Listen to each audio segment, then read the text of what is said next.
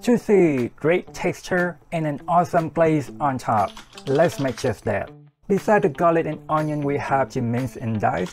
We just mix everything together and bake for 20 minutes at 375 degrees Fahrenheit. What's unique about this meatloaf is that we use pork ground turkey and oatmeal, which improve the texture tremendously.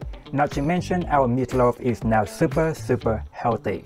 Now the best meatloaf must be accompanied by an awesome glaze. Just mix everything together. After 20 minutes, add the glaze on top, bake for another 20 minutes at 425 degrees Fahrenheit.